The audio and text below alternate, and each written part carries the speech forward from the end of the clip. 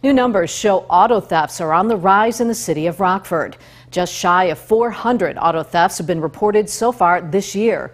That's according to police department statistics. It's a dramatic rise from the same time last year when just over 200 thefts occurred.